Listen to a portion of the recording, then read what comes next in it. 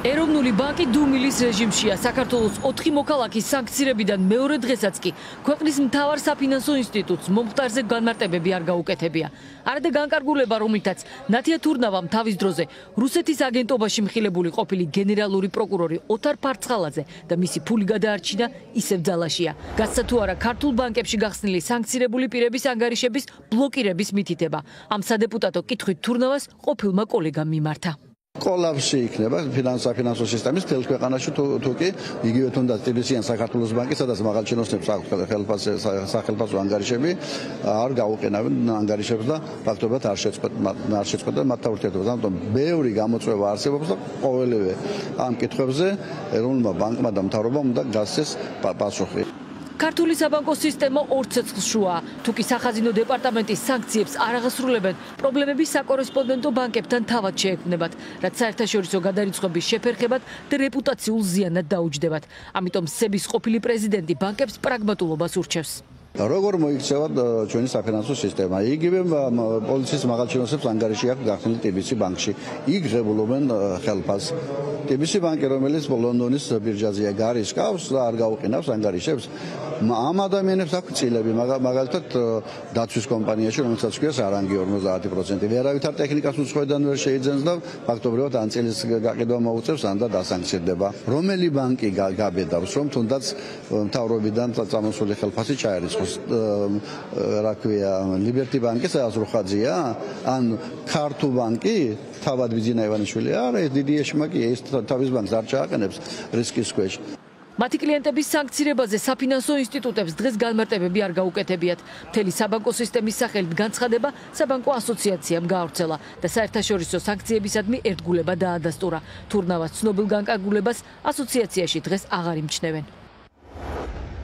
საქართველოს საბანკო ასოციაციაში აცხადებენ, რომ საბანკო სისტემა საერთაშორისო საფინანსო სისტემის განუყრელი ნაწილია. ის განუხრელად იცავდა და დაიცავს ამერიკის შეერთებული შტატების, ევროკავშირისა და გაერთიანებული სამეფოს მიერ დაწესებულ სანქციებს და გადაწყვეტილებებს მათთან შესაბამისობაში იღებს.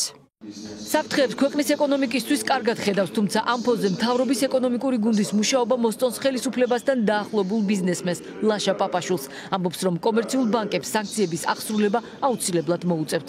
მე როგორც ვიცი, გააგრძელებენ და სანქციებულ პირებს უბრალოდ ვერ მოემსახურებიან მათ ხელში არ არის ეს საკორესპონდენტო ბანკები არ მისცემენ ამის საშუალება და შენ დაზგინა მიიღე შენთან მეტი მუშაობა უნდა, მეტი პიარი უნდა, რაც ხდება რეალურად. კომუნიკაციაშია პრობლემა და თქვა არა ხელისუფლების გადაწყვეტილებებში. ო, ხელისუფლების გადაწყვეტილებები რომელი არ მოგწონს.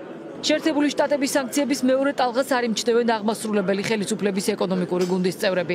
ქვეყნის ეკონომიკისა და საფინანსო სისტემის წინაშე არსებული რისკების მიუხედავად, ფინანსთა და ეკონომიკის მინისტრებმა მედიის კითხვები დღეს უპასუხოდ დატოვეს. ბატონო ლაშა, სანქციებთან დაკავშირებით ქვეყნის ინტერესებს არ აზიანებს რა ნაბიჯების გადადგმას აპირებთ? სანქციების საპასუხოდ. ბატონო ლაშა ბატონო ლევან სანქციებთან დაკავშირებით თუ შეიძლება? ბატონო ლევან. სანქციებთან დაკავშირებით ჩეკითხვები გვაქვს. თუ შეიძლება აღმასრულებელი ხალიფები და სიაში ვინ არის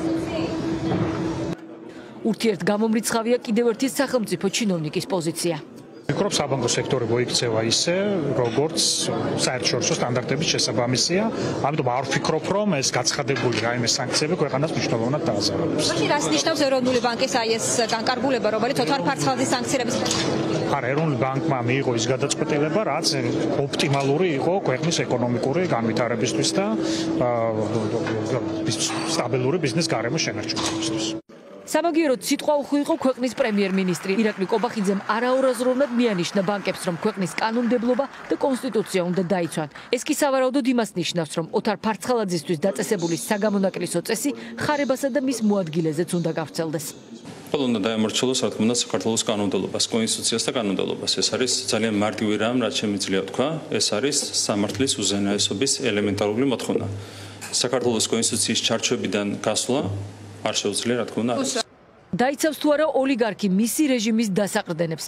დაიძულებენ თუ არა ბანკებს დაიცვან საგამონაკლისო წესი. ეს უახლოეს ხანებში გამოჩნდება. თურნავას განკარგულებით საქართველოს მოქალაქეზე საერთაშორისო სანქცია რომ გავრცელდეს სასამართლოს გამამტყუნებელი განაჩენი უნდა არსებობდეს